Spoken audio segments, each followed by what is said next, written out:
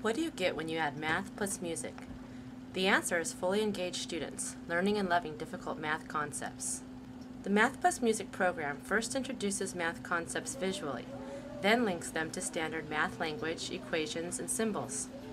In this way, even students with language issues succeed in conquering tough math concepts. Music is the second component to the Mind Institute's program.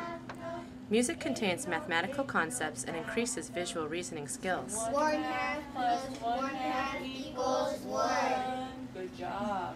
Music teacher Janet Shermer uses Math Plus Music to teach keyboarding, proportions and counting, and the language of music.